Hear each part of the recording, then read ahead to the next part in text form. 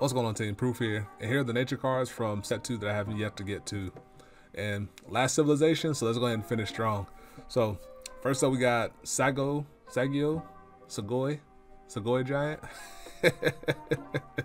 Sagao. I don't know the proper pronunciation for it, so I'm sure, sure somebody will let me know. But of course he's a giant. Each of your giants gets blocked if able.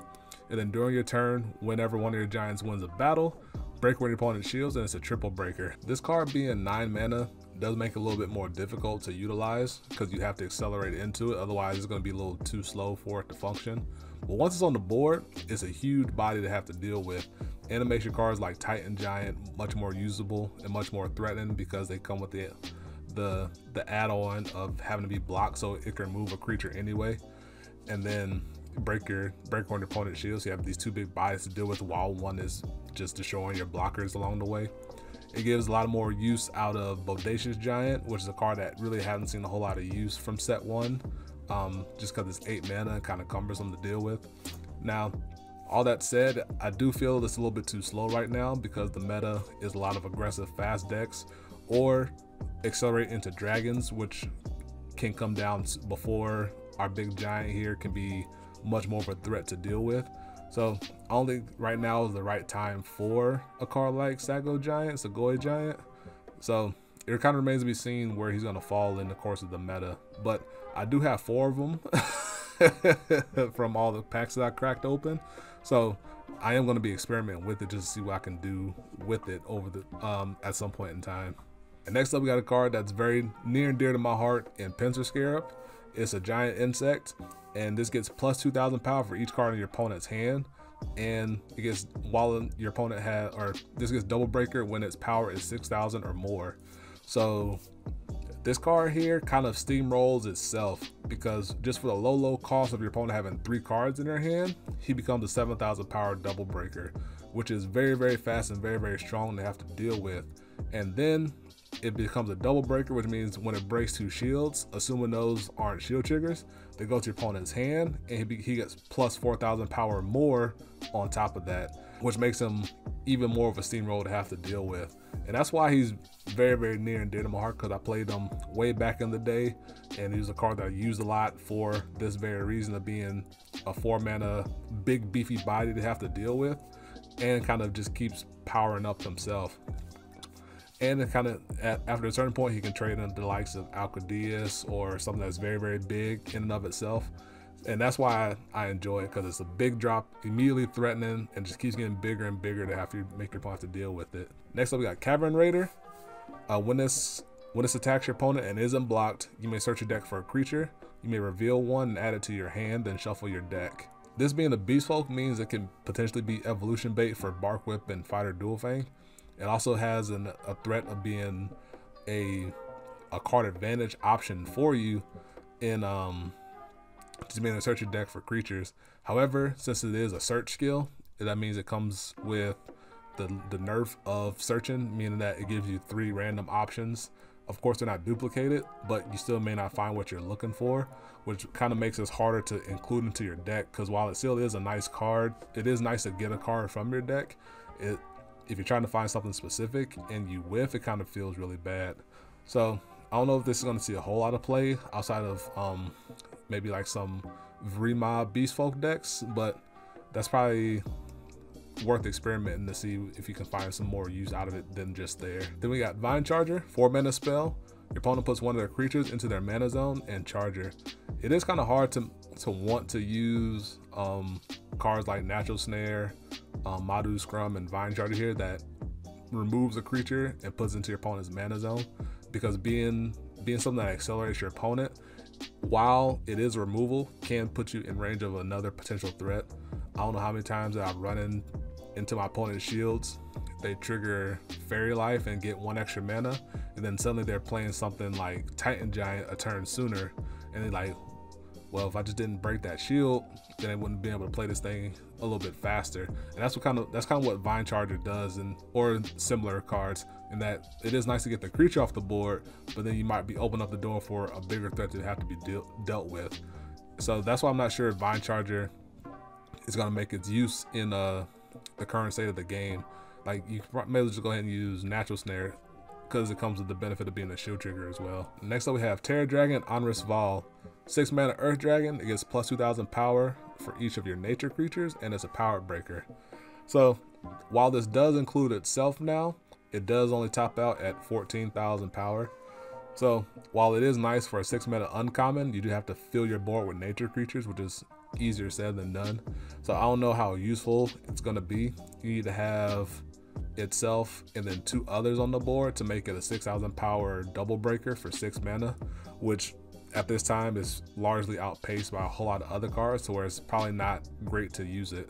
And you rather use your resources on playing some of the other dragons that might be more useful, or playing some of the dragon evolutions, which start to drop in, or it drop in the six mana slot, seven mana slot, and the eight mana slot. So it's something to think about. It is a nice budget option, being only an uncommon, but there, I think there's better dragons out there that are better budget options. Next up, we got Bakra Horn the Silent. Horn Beast. When whenever one of your dragons or dragonlords enters the battle zone, put the top card of your deck into your mana zone. So just like Scream Slicer, it does have that nice one-two punch with Kachua. It also comes with the benefit of being usable with your Dragonoids, similar just like um, Scream Slicer. And it is cheaper, so it might find its way to be more useful. But there are a lot of ways to accelerate already to getting your dragons out early. and like Coccolupia, just regular normal green um, mana acceleration options. And then there's also a new one in Call of Dragons to be able to maybe accelerate two on three mana, go right into five mana. So I don't know if Bakrahorn might find its place amongst all that competition. Next up, we got Malulu, Fairy of the Snowy Valley. Uh, Snow Fairy, of course, and then whenever one of your dragons would be destroyed, destroy this creature instead. So this is a saver for dragons, even though it doesn't have the keyword for it. And it is nice to be able to just have another way to protect your big dragons. And it comes with the the combo of combining with Kachua in that usually when you at the end of your turn you would have to destroy the dragon that she summons. But if you have Malulu on the board, you just destroy Malulu instead and you keep the dragon around. So your opponent has to waste two mana, two burn spells to get rid of your dragon if you have Malulu on board, technically. So she is nice to keep around for just those purposes as well. I, I would expect to see her in a lot of common dragon decks. Next up, we got Surprise Giant. I love the artwork on this guy. like just slamming down into the earth, like surprise. but six mana giant, or five mana giant shield trigger creature, and it is nice to have. It, it is one of the bigger bodies you can get off of a shield trigger creature and then it combos with Segoy Giant that we talked about uh, initially. But other than that, it is kind of just kind of vanilla. There's no currently there's no giant evolution creatures, and so you can't use it for that intended purpose. And for five mana for nature cards, there's other other options that you can look into, or just spending your five mana on something else that's not necessarily nature as well. And then we got Popple Flower Petal Dancer, Snow Fairy, tap skill, put the top card of your deck into your mana zone. So with all the acceleration options and nature like I talked about with Bakra Horn, it is kind of it is going to be hard for Popple to find use because there's already Fairy Life and Bronze Arm Tribe, which cost two and three mana respectively. And for Popple here to outpace something like Bronze Arm Tribe, she has to live for two turns. She has to live the initial turn. Then you have to tap down to then get the top card. Then she has to live through that turn. And then she has to tap down again. And with tap skills, meaning you can't it has to be used instead of attacking. You can't use the tap skill and then summon something off top with the newfound mana. So just very awkward, very not very fast, and you're better off using other means in my opinion. And then we have Shaman Melissa, Melting Snow Fairy. Uh, two mana, Snow Fairy, when destroyed, put it into your mana zone instead. So this is very good in the in aggressive decks, just to have you something that can have a benefit when destroyed. It does compete with space with um, Poisonous Mushroom, two mana when it comes into play. You can put a card from your hand into the mana zone. However, this come this comes with um, this doesn't cost you a card, an additional card in your hand like Mushroom does. You can combine with something like Dark Soul Creation to um, nuke it, um, draw three cards, then you accelerate yourself up to five mana. That's uh, probably a common application you can see. Next up, we have a, a personal fan favorite of mine again in Quixotic Hero Swine Snout. Two mana Beast Folk. When another creature enters the battle zone, this creature gets plus 3000 power until the end of turn. So what this means is while it's sitting on the board, and your opponent summons a creature, it gets buffed up, and similar when you um, summon a creature gets buffed up. So you can play this on turn two, on turn three summon something else, and it becomes 4,000 power, and then you can attack into your opponent's shields. And then, assuming your opponent has something on board, you force your opponent to either not summon on their turn to help to remove um, Swine Snout here, or they have to remove it through a spell and then play something else after that, so that way Swine Snout doesn't get buffed up if they have power-based removal. So it makes your it makes the opponent's life a little bit more difficult while Swine Snout's on the board, which makes it better for the aggressive player who's using it. So that's something to keep in mind. It does have interactions with Magma Rex and other power-based removal from creatures. So when it, I keep saying so, when it comes to that, you have to figure out who gets priority. And the priority comes in a couple ways. If it's your turn and you you have Swine Snout on your board and you attack into your opponent's shield and it, you trigger Magma Rex, since it's your turn, you get turn priority. So your Swine Snout is going to get power before Magma Rex activates, which kills all creatures that have 1000 power or less. So your swine snout snip, your swine snout lives in that scenario.